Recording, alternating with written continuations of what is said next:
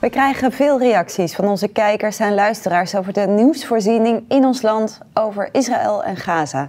Er is veel zorg en boosheid over de manier van berichtgeven. Het is best makkelijk om commentaar te geven op berichtgeving, maar hoe breng je dan wel evenwichtig nieuws over Israël? Daarover praten we met opiniemaker Joop Suzan. Hij woont in Israël en maakt elke week meerdere podcasts over het nieuws in Israël. Joop, van harte welkom hier. Ja, dankjewel. Bestaat dat eigenlijk even, evenwichtig nieuws over Israël? Niet in Nederland. Absoluut niet. Maar überhaupt? Uh, het bestaat wel, in ieder geval in Israël. Ja. Maar ook in andere media in andere landen merk ik, bijvoorbeeld in Amerikaanse kranten. Ja. Amerikaanse media, die zijn uh, proberen evenwichtig te zijn. Ja, want geef eens een soort van definitie. Wanneer is nieuws over Israël en het conflict met uh, Hamas, wanneer is dat evenwichtig en wanneer is dat niet zo? Als je gewoon beide kanten belicht. En uh, dat betekent dat je zowel de Israëlische kant laat zien en ook de kant voor de mensen die in Gaza wonen. Mm -hmm. En dat, dat gebeurt in Israël wel. Ja daar wordt duidelijk ook de kant van de, de bevolking in, in Gaza getoond. Ja. Ook op televisie. We gaan daar zo meteen verder over hebben. Uh, Ja. In deze uitzending bespreken we altijd eerst de actualiteit. Wat is er de afgelopen dagen gebeurd? En uh, net voor het weekend was er een kleinschalige, een kleinschalige aanval van Israël op een installatie in Iran. Ja. Afgelopen week dus. Was dit nou de reactie van Israël op die hele grote aanval van Nee. Iran? Nee. Dit was een aanval met drones, met geavanceerde drones die radarinstallaties konden ontwijken. Ja. En eh, dat was meer, dat moet je zien van, oké, je weet dat we het nu kunnen. Volgende keer doen we het echt. Een waarschuwing eigenlijk. Het is een waarschuwing Ja. geweest. En dat, dat is in het Midden-Oosten. Het is, eh, je moet laten zien dat je sterker bent. Mhm. En dat heeft Israël laten zien. Ja, maar verwacht je dat er nog een grotere aanval zou komen van Israël als een soort van vergelding Nou, van er verwachten, eh, niks is, is zeker. Hmm. Je weet niet, er hoeft maar iets te gebeuren. Hezbollah kan iets doen eh, in opdracht van Iran. Ja. Want vergeet niet, dat is hier in de, in de nieuwsvoorziening niet naar, naar voren gekomen in Nederland. Het was geen aanval met 300 raketten, het was een aanval twee weken geleden met meer dan 500 raketten. Want er kwamen 500? ook raketten van Hezbollah en uit Syrië. Ja, tegelijkertijd. Tegelijkertijd. Israël aan. Ja, Ja. ja. Volgende nieuwsbericht. Vanavond begint Pesach. Dat Ja. is niet het nieuws, dat is elk jaar zo. Dat maar is elk vanavond, jaar zo. vanavond begint dat. En eh, met Pesach herdenkt het eh, Joodse volk de uittocht uit Egypte. Ja. Met eh, Mozes die zegt laat mijn volk gaan. Heb jij dan ook in gedachten als jij vanavond Pesach viert... ehm, juist die mensen, die 133 mensen die nog steeds in Gaza gevangen Ja. zitten? Ja, die spelen vanavond aan, ik denk vrijwel iedere zijdertafel een hele belangrijke rol. Er wordt altijd een stoel vrijgehouden voor Mhm, Elia, ja. of voor Elia. Vanavond wordt er een extra stoel vrijgehouden voor de gijzelaars. Dat is ook gevraagd ja. en iedereen doet dat. Gevraagd Waar ook ter door, wereld. Gevraagd door- Nou, gevraagd eigenlijk, het is gezegd door eh, zowel premier Netanyahu, maar ook rabbijnen die de afgelopen week daarvoor hebben eh, gepleit. En ja, dat, dat moet ook. Ja, We mogen deze mensen niet vergeten. nee. Het zijn 133 mensen die in de meest verschrikkelijke omstandigheden verkeren. En waar de wereld geen aandacht aan En besteedt. waarvan ook niet bekend is of ze nog in leven zijn. Nee, gisteren was er een bericht dat waarschijnlijk slechts 40 nog leven. Zo. En eh, die worden dan gebruikt als menselijk schild Ja. rond Hamas-leiders. Ja. Maar als je nou realiseert, eh, want dat zie ik hier in de Nederlandse berichtgeving, heb ik dat nooit teruggezien. Er zijn op 7 oktober hele families afgeslacht. Vader, moeder, kinderen. Bestaan niet meer. Weg. Dat is iets wat je eigenlijk niet voor kan stellen. Kun je niet begrijpen. Dat nee. kan je niet begrijpen. Nee, nee. Nee. nee. Ehm, vanochtend vroeg, want we zijn nog steeds met het Ja. nieuws bezig. Vanochtend vroeg is er een aanslag geweest in Jeruzalem. In Jeruzalem, ja. Dat gebeurt regelmatig. Gelukkig, deze keer waren er maar drie lichtgewonden door de aanslag. Ja. De terroristen die zijn inmiddels opgepakt. Maar mijn vraag aan jou is, hou je daar zelf ook rekening mee in Israël als je ergens naartoe gaat van, oh, er zou wel eens wat kunnen dat gebeuren? is heel raar. Ik woon nu 24 jaar in Israël. Mm. En je voelt je gewoon veilig, je weet je beschermd. Ondanks al die aanslagen. Ja. Hoe kan dat? Het is het gevoel. Ik loop s'avonds gewoon lekker met mijn hondje Ja. door de straat. En ik sta er helemaal niet bij stil. Er Is dat niet een beetje naïef? Nee. Nee. Het leven in Israël is, is anders dan het leven in Nederland. Ja, Wij worden elke dag eh, geconfronteerd met terreur. ja, En terreur maakt onderdeel uit eigenlijk van het leven. Hmm. Toen, ik, eh, toen wij in Jeruzalem woonden, heb ik aanslagen zien, eh, zien gebeuren voor mijn neus. Ik heb me- ook mensen uit bussen gehaald om ze te redden. Zo. Ik ben eh, ooit met Connie Mus had ik afgesproken op de markt. journalist, hè? Ja. Ja, eh, op de markt eh, in Jeruzalem. En dat daar op dat moment een aanslag plaatsvond. Het maakt onderdeel uit van je leven in Israël. En eh, ja, daar leer je mee leven. ja. Ja. Nieuws wat ook vandaag in de Israëlische media groot is, is dat de hoogste baas van de in- inlichtingendienst van de IDF, Ja. die is eh, opgestapt. Of die Hij heeft zijn aftreden aangekondigd. Ja, hij heeft zijn Ja. aftreden aangekondigd vanwege de misstanden op 7 oktober. Ja. Dus dat de inlichtingendienst toen eigenlijk gefaald heeft. Niet alleen de inlichtingendienst, een hele hoop mensen Ja. hebben gefaald. Maar is dit een goede stap volgens jou? Er was toevallig vanmorgen, voordat hij dat aankondigde, stonden er in de meeste Engelstalige en Hebreeuwse kranten in Israël al eh, columns, oproepen, dat alle verantwoordelijken zouden moeten opstappen. Ja. En dat moet ook gebeuren, of het nou Ja. politici zijn, of het nou militairen zijn, of het de hoogste baas van de IDF is. Er is gefaald. En er moet heeft, verantwoordelijkheid genomen worden. ja, men heeft deze, deze vreselijke terreuraanslag Mhm. niet kunnen voorkomen. Nee, En, en dat had nooit mogen gebeuren. nee, duidelijk. Ja. Hey, en jij bent natuurlijk opiniemaker. Daar gaan we het zo meteen nog uitgebreid over Ja, hebben. opiniemaker. Ik breng het nieuws Je zoals brengt het het, is. of nieuwsbrenger noemen we het dan Ja, maar even. ja. Welk nieuws is jou opgevallen vandaag? Eh, wat mij erg bezighoudt vandaag is het nieuws dat er nog steeds 133 mensen vastgehouden worden. Ik ga er maar vanuit dat het nog 133 leven. Ja, Alhoewel je weet dat dat niet zo is. Maar dat houdt mij vandaag erg bezig. en elke dag denk ik, of niet? Eigenlijk elke dag, maar vandaag meer omdat we vanavond de uittocht herdenken uit Egypte. De weg naar de vrijheid 3000 jaar geleden. Ja, En 133 mensen niet vrij dat zijn niet. omdat ze Jood zijn. nee. Dat is wat jou vandaag bezig Dat houdt mij Ja. emotioneel erg bezig. Ja. Ja. Nu, jij woont in Israël. Ja. De oorlog die is ook al ruim een half jaar nu bezig. Wat voor impact heeft dat op jou? Nou, dat heeft eh, eh, nu iets minder, maar in het begin vooral. Het heeft impact op je dagelijkse routine. In het begin was dat natuurlijk heel erg. Eh, maar om een paar voorbeelden te geven. Ik, eh, de eerste week van de oorlog, op 13 oktober, sneuvelde een kleinzoon van mijn zwager. En eh, in het Joodse geloof moet een begrafenis binnen 24 uur plaatsvinden. Die jongen was net getrouwd, 25 jaar.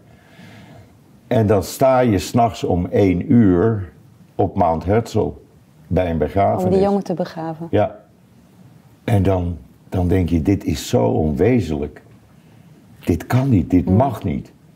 En dat heeft mij nog meer een vechter gemaakt om, om hiervoor op te komen, om eh, dit nieuws te verspreiden. Ja, Ik ben bijvoorbeeld al eh, vanaf 7 oktober niet meer naar een van mijn broers eh, in het hoge noorden gegaan. Die woont net onder Slomi.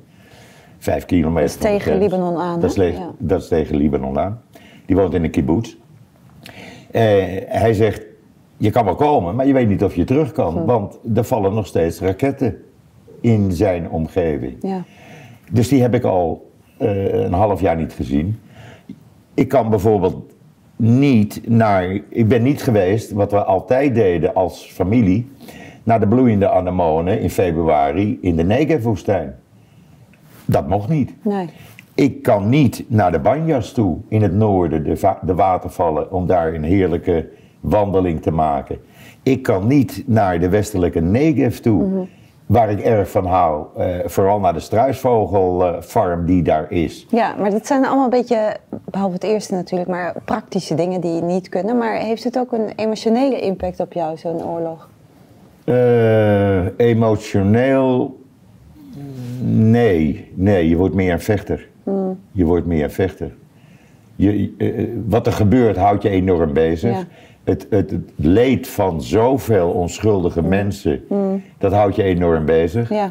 Maar dat maakt je ook meer een vechter om juist daardoor, en dat deed ik in het begin, was ik gewoon 16 uur per dag dat nieuws aan het verspreiden. Ja, En, nou, daar was eh, je fulltime mee bezig, ja. constant. Ja. Ja, Constant. want vorige week was die grote aanval vanuit Iran en dus ook vanuit Hezbollah Ja. en, en Syrië op Israël. Ja. Hoe heb jij dat meegemaakt? In bed. Je sliep. Nee, mijn alarm ging constant af op mijn telefoon. Maar ik hoorde geen luchtalarm in de straat. Ik denk, nou, als er geen luchtalarm is, Dan zal het wel goed zijn. dan kan ik gewoon in bed blijven. Ja.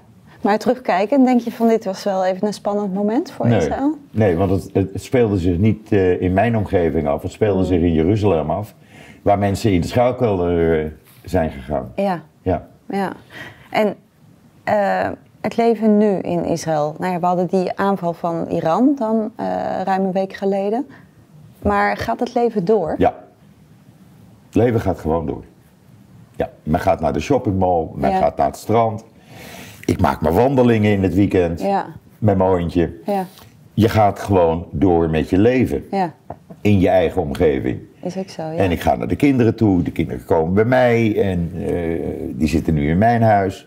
Een van de kinderen. eh, je probeert weer normaal te leven. Dat pro- probeer je en dat lukt ook aardig, of niet? Ja. Ja. Ja, ja. Ja. Men is wel wat geagiteerder, gauw geïrriteerd. Ja, eh, eh, dat wel. Er wordt minder gezongen op straat.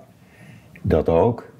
Maar eh, ja, voor de rest is het leven weer normaal. De shoppingmall is vol en dan zeg ik, eh, het leven is normaal. ja.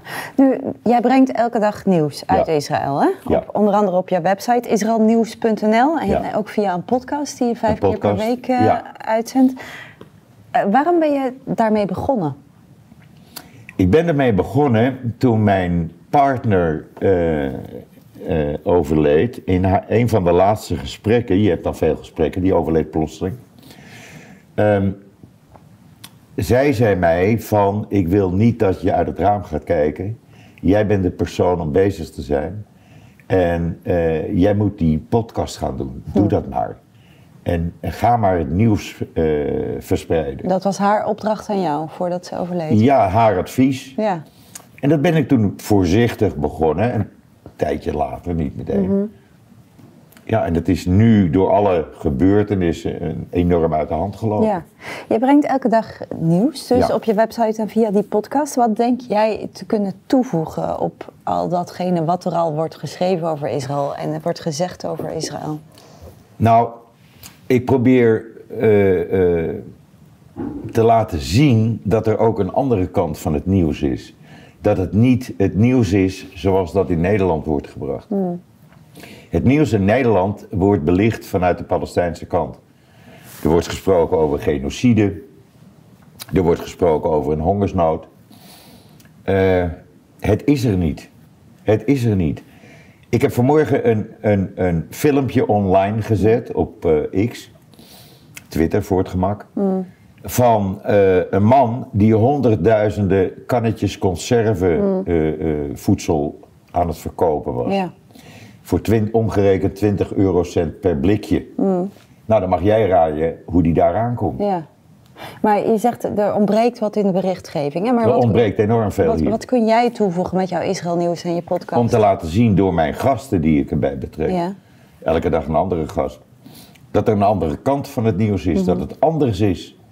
En dat mag best kritisch nieuws zijn over Ja. Israël. Ja. Israël maakt ook fouten. Het is ook een land. Het zijn ook gewone mensen. Maar er is een andere kant. Er, er, er wordt in Nederland niet meer gesproken over 7 oktober. Laat dat zien. Ja. Vergeet dat niet. Dat wat is de grootste terreur terreuraanslag ooit geweest, na de holocaust. Ja. Dat doe jij in je uitzendingen, juist aan Ja. die dingen die, die, waarvan, Ja. waarvan je zegt van dat mist in de media, Ja, die ga absoluut. je maken. Ja. Absoluut. Kun je nog meer voorbeelden geven van dingen die je zegt van dit mis ik en daarom breng ik het? Nou, ik mis eh, eh, berichtgeving over het leven in Israël. Er wordt gewoon niet aan, geen aandacht besteed aan het leven in Israël. Maar dat is misschien geen nieuws. Dat is geen nieuws. Maar het is wel een onderdeel van de maatschappij. Ja. Wij zijn ook maar een gewoon land. Waar toevallig bijna 7 miljoen Joden wonen, maar ook 2 miljoen Arabieren. En eh, onderweg hier naartoe legde ik uit hoe dat gaat, het samenleven tussen Joden en Arabieren. Dat gaat op een, de meest perfecte wijze. Hè, eh, eh, een klein voorbeeld, want dan wil je natuurlijk voorbeelden hebben. Nou, toen mijn partner ziek werd, deden ze allerlei testen. In het Igilov ziekenhuis in Tel Aviv. Ja. Ze konden niets vinden. Er komt een Arabische arts naar ons toe. Die zegt, ik wil nog één test doen. Vinden jullie dat goed? Ja, doe maar. En hij vond het. Ja. Toen zij overleed, sta je daar als familie in die kamer, komen er twee Arabische moslim verpleegsters die kamer binnen. Die ons gingen omhelzen. Dat is Israël. ja. Is dat belangrijk voor de mensen in Nederland om dat te weten? Dat, dat Joden en Arabieren... Ja, er wordt hier gesproken over een apartheidstaat. Het is geen apartheidstaat. Wij leven eh, eh, samen, we wonen samen met Arabieren, met christenen. Als ik naar een apotheek moet, wordt die 9 van de 10 keer gerund door een Arabische familie, inclusief hoofddoekjes en van alles en nog wat. En daar ga je gewoon naartoe. Ja. Dan zeg je niet, ik ga daar niet naartoe, want het is een Arabier. Nee, maakt onderdeel uit van de samenleving. ja. En er is geen verschil. Hey, maar eh, eh, je hebt het al een aantal keer genoemd, hè? van de Nederlandse media die schiet tekort, Ja. die berichten eenzijdig. Absoluut. Aan de andere kant, eh, het is ook niet heel eenvoudig. Ik bedoel, het nieuws in Gaza ontvouwt zich snel. Er is lijden in Gaza en zij moeten hun nieuws ergens vandaan krijgen. En er zijn niet zo heel veel nieuwsbronnen uit Gaza die, die wel betrouwbaar nieuws brengen. Dus hoe zie je dat eigenlijk? dan zouden ze zich eh, wat meer ri- moeten richten op het, eh, eh, de wijze, als het correspondenten zijn, dan kunnen ze ook de televisiezenders in Israël bekijken, Ja. waar erg veel kritiek is. Ja? En eh, dan kan je dat volgen en dan kan je zien dat het nieuws gewoon anders is. Het wordt hier alleen maar, er wordt helemaal niet over Israël gesproken hier. Alleen maar de IDF bombardeert en de IDF doet dit. Vergeet niet, onder Gaza liggen ruim 500 of 700 zelfs. Kilometer tunnels. 700 kilometer tunnel. Ja, Ja, waar slechts een klein gedeelte van vernietigd is. Die worden nog steeds gebruikt. Meneer Sinwar, de leider van de Hamas, die lag zich een, eh, een slag in de ronde. Want die loopt vro- vrolijk van Gaza naar Egypte en weer terug. Geloof mij maar, want dat kan. ja. Maar je zegt Nederland of de Nederlandse media, dan hebben we het even ge- heel generaliserend, Ja, want niet alle ja. media is, eh, is eenzijdig. Eh, maar de Nederlandse media die baseert zich op berichtgeving die zij krijgen van bijvoorbeeld de VN in Gaza of van de hulporganisaties of eh, Al Jazeera die daar correspondenten heeft of eh, het ministerie van Volksgezondheid. Maar ze hebben het ook niet voor het kiezen daar. Hè? Het is niet dat daar een Israëlische nieuwszender actief De is. Nederlandse media die weet, en dat weten ze echt drommels goed, er zijn geen journalisten in Gaza. Waarom niet? Omdat Hamas dat niet toestaat. Ja. En de zogenaamde journalisten die er zijn, dat zijn geen journalisten. Dat zijn gewoon Hamas-leden die zich voordoen als journalist. Ja. Ja?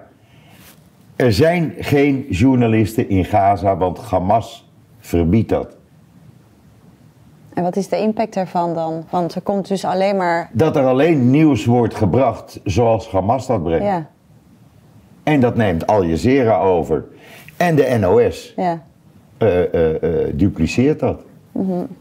Ja. Wat is daar de impact van als die berichtgeving is zoals die nu is in Nederland? Dat mensen een verkeerde opinie hebben. En wat, wat is daar dan de, het gevolg van?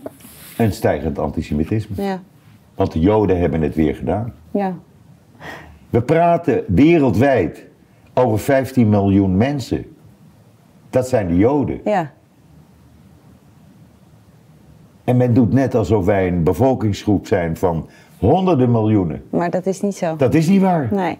Nou ja, in de afgelopen weken is ook naar buiten gekomen, onder andere in een rapport van CIDI, dat antisemitisme ook in ons land, in Nederland, eh, Ja. sterk is toegenomen. Ja, Hoe kijk jij naar die toename? verschrikkelijk. Ik merk het aan allerlei beperkingen binnen de Joodse gemeenschap. Noem, noem eens wat. Want jij hebt natuurlijk ook contacten met de Joodse gemeenschap hier in Nederland. Ja, mensen kunnen niet meer met een keppeltje op naar de synagoge. Eh, mensen worden bespuurd, mensen worden uitgescholden.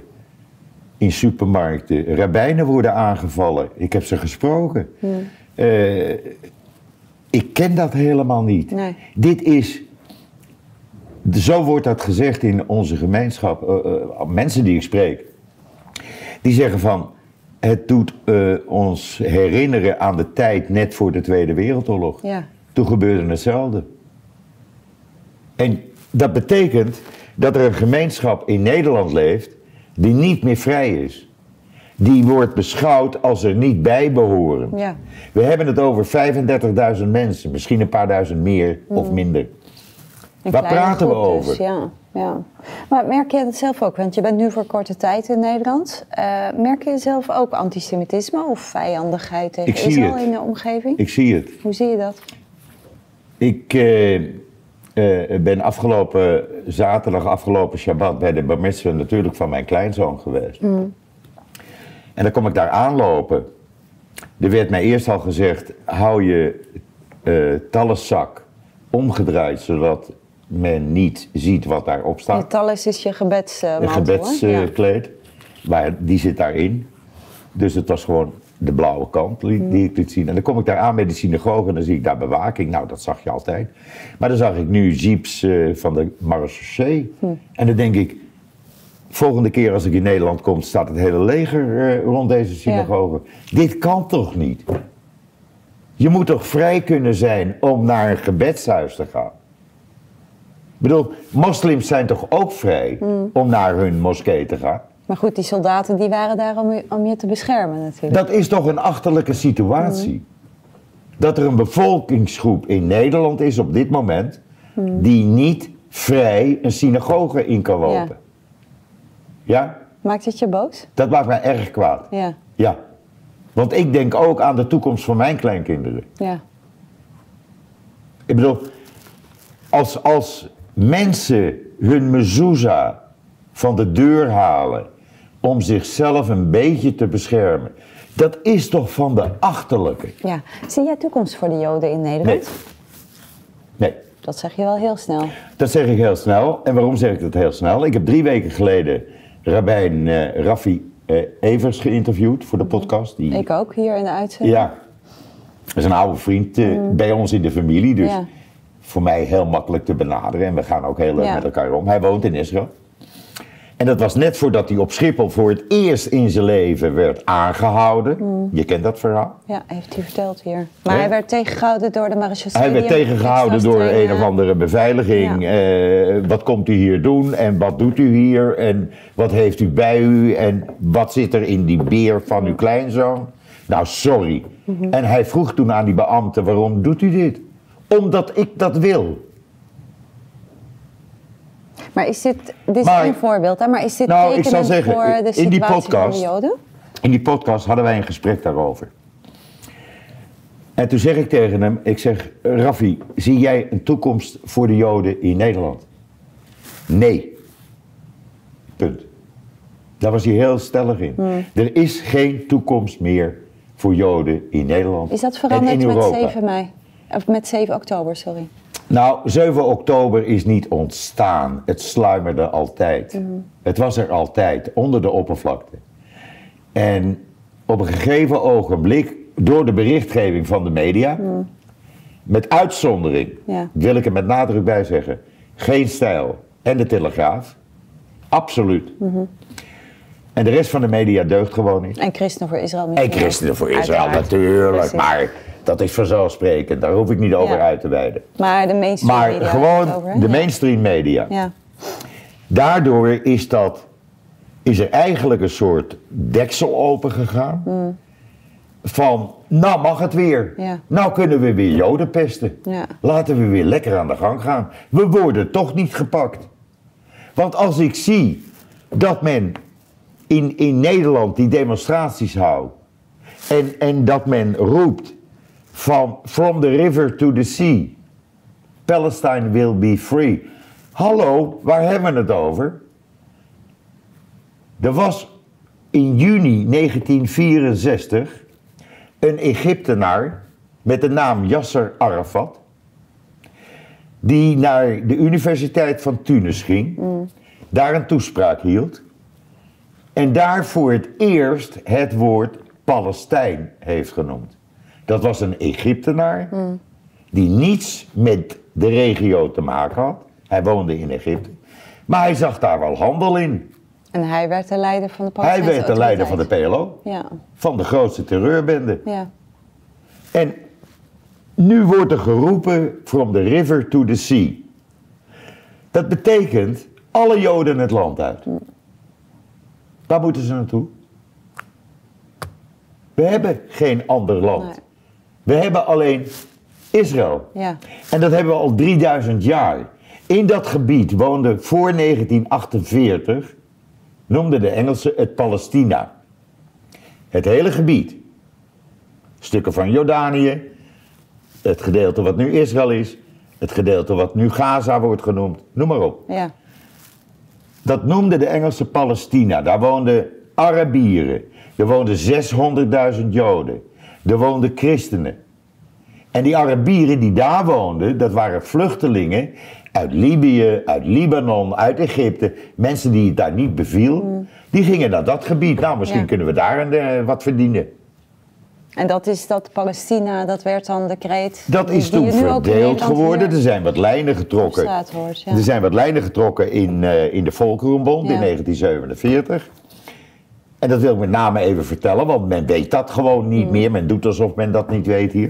Er zijn wat lijnen getrokken. Nou, dan maken we hier Israël.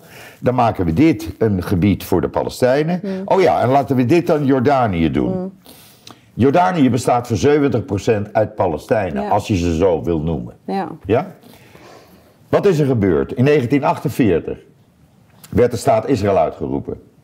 Toen riepen zes Arabische landen hun inwoners die in dat gebied woonden op. Jongens, vlucht even, wij gaan een oorlog beginnen tegen die Joden. En daarna kan je weer terugkomen. Ja. Toen zijn er 750.000 mensen hebben dat opgevolgd. Die zijn ergens anders naartoe gegaan. Die worden ruim 80 jaar, of bijna 80 jaar later, nog steeds vluchteling genoemd. ja. En Kom op nakomelingen, ja. Er, wonen, er zijn er maar 20.000 die echt uit die tijd stammen. We gaan weer terug naar Nederland, want je hebt ons een geschiedenislesje gegeven. En dat is natuurlijk belangrijk om voor mensen ook om te weten van wat is precies de geschiedenis van die regio en wat wordt er dan op straat geroepen Ja. eh, in Nederland. Het van Ja. the river to the sea. Eh, ik wil toch nog kort even, want we gaan richting een afronding toe naar 4 Nu mei al? toe. Ja, het gaat snel. Er is namelijk sprake van dat de 4 mei eh, herdenking dat die gebruikt zou worden om ook aandacht te vragen voor de oorlog in Gaza. Ja. Kun je daar kort op reageren? Wat vind Nou, dat is de grootste kolder. Dat zijn ook weer mensen die net doen alsof ze, alsof ze het weten. Waar gaat 4 mei over? Dat is de dodenherdenking. Daar worden de doden herdacht die gesneuveld zijn in de Tweede Wereldoorlog. Joden, niet-Joden, van alles. Daar worden de militairen eh, herdacht die gesneuveld zijn in andere oorlogen waar ze gevochten hebben. Dat heeft niets, maar dan ook niets, met Gaza te maken. Nee. Want als je dat gaat doen, dan moet je 1 september uitroepen tot herdenkingsdag voor de 240.000 slachtoffers in Syrië. Dan moet je 2 september uitroepen voor herdenkingsdag voor de ruim 300.000 slachtoffers in Somalië. Kom op zeg, waar ben je mee bezig? Dat, is, dat zijn mensen die gewoon de geschiedenis willen veranderen. En Ja. die de tradities in Nederland naar hun zin willen maken. Dit kan niet. En als dit wordt toegestaan, als er ook maar één keer het woord Gaza valt, nou, ik denk dat ik een, een, een steen door mijn televisie gooi. Ja, echt waar. Ja. Want ik ga kijken. Ja, Ik ga kijken. Dat zou mij nog kwaaier maken. ja. Nou, laten we hopen dat het eh, waardig verloopt en dat dat natuurlijk niet gebeurt. Nog één laatste vraag. Want Ja. eh, een groep, met name niet-Joodse Nederlanders, die heeft een actie opgezet om eh, aanstaande zaterdag, op Koningsdag, een oranje keppel op te zetten. Ja. Ze hebben een website daarbij tegen antisemitisme.nl. Ja. Dus ze roepen dan met name bestuurders, dus burgemeesters en Ja. zo op, van wees solidair met de Joden, ook vanwege het antisemitisme. Dus doe een oranje keppel op. Vind je dat een goede actie? Eh, je laat zien dat je solidair bent. Ja. En is het dan zo moeilijk? Is het dan zo moeilijk om één minuut even een oranje keppeltje op te zetten? Moet je hem wel ergens vinden natuurlijk. Die, eh, Die zijn te krijgen. die zijn te krijgen. Die zijn te krijgen. Mm. Hans Theeuwen heeft daar een uitstekende video over genomen. Ja, en opgenomen. is Je hebt hem gezien? Ja, ik heb hem gezien, ja. ik heb Dus- hem ook gezien vanmorgen. Maar het is in ieder geval ook een oproep van hem om die oranje keppel te dragen. Dat was het. Is het nou zo erg? Is het nou zo erg om even 1, 2, 3 minuten je solidariteit met een bevolkingsgroep te tonen Hmm. die hier min of meer als verschoppeling wordt behandeld? Ja. Is dat zo erg? Wat zou jouw oproep zijn naar de mensen die kijken en luisteren naar deze uitzending? Doen. Allemaal oranje keppel op Doen. eh, zaterdag? Absoluut. Ga jij het ook doen? Eh, nee, ik doe mijn gewone keppel op, Dat mag ook. want ik zit in Israël. Joop Suzan. Maar ik zal er wel aandacht aan besteden, Heel- absoluut. Heel, goed. Dankjewel Joop Suzan voor jouw komst. Graag en gedaan. tijd hier. Nu thuis ook bedankt voor het kijken naar deze uitzending van Christen voor Israël. En u kunt betrokken blijven bij ons werk. Ga naar onze website cvi.nl slash actueel. Daar kunt u actuele informatie vinden. Eh, ook concrete punten waarvoor u kunt bidden, wat u kunt doen in uw acties, ook voor Israël. Deze uitzending die wordt ook sinds eh, vorige week wordt geplaatst op ons podcastkanaal. Eh, als, u daarvoor, als u dat liever doet dan naar een YouTube-uitzending kijken, dan kunt u hem dus ook beluisteren via podcast cvi.nl slash podcast. En tot slot, als u op de hoogte wilt blijven over het nieuws in Israël, dan kunt u natuurlijk te- terecht op de website van Joop, israelnieuws.nl. Maar u kunt zich ook abonneren op ons WhatsApp-kanaal. En als u daar meer over wilt weten, verwijs ik u graag door naar cvi.nl slash kanaal. Nogmaals, dank voor het kijken en graag tot de volgende keer.